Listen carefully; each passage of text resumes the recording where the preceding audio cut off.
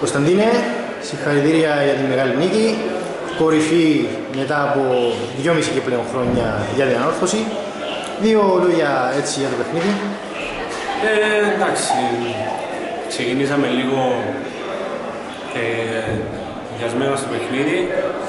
Ε, εντάξει, βάλαμε το πρώτο γκολ γρήγορα. Ε, μετά ήρθε και το δεύτερο. Νομίζω χαλαρώσαμε λίγο, δώσαμε πολύ χώρο. Ε, αλλά ευτυχώς ε, δεν, ε, μας τιμώρησαν, δεν μας τιμώρησαν και βάλαμε το τρίτο τέρμα και δικαιώσαμε το μάτς. Αλλά πιστεύω δεν είμαστε ευχαριστημένοι πολύ από τη σημερινή εμφάνιση. Πρέπει να πάμε πιο δυνατή στο βασιλεί για να πάρουμε στους βαθμούς. Ε, κάνεις λόγο για χαλάρωση. Θεωρείς ότι οφείλεται στο δίχτυ του σκορ ή ήταν απλά τακτική;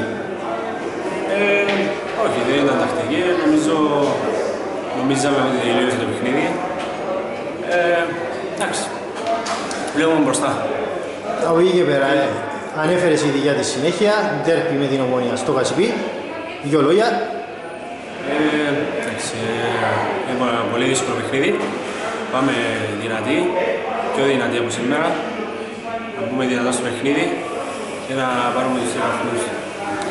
Ε, τέλος να πούμε και δύο λόγια για τον κόσμο. Ήρθε ξανά αρκετός στον Αντώνης Παπαδόπουλος. Ε, ευχαριστούμε πάρα πολύ τον κόσμο που πάλι που ήταν δίπλα μας. Ε, τους θέλουμε όλους την Κυριακή, το Σάββατο μαζί μας. Ε, και πιστεύω όλοι μαζί να πάρουμε τους βαθμούς. Ε, και μια τελευταία ερώτηση αφορά τη δική σου προσωπική απόδοση.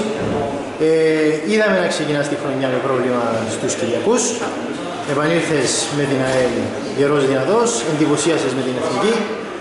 Δεν ξέρω ε, αν έχεις να κάνεις κάποιο σχόλιο. Ε, όχι, εντάξει. Ε, νομίζω, ε, σιγά σιγά είμαι πιο έτοιμος. Επειδή στην αρχή μου λίγο δεν ήμουν και πολύ έτοιμος. Ε, τώρα νομίζω είμαι στα 100% και κάθε παιχνίδι να γίνω καλύτερος.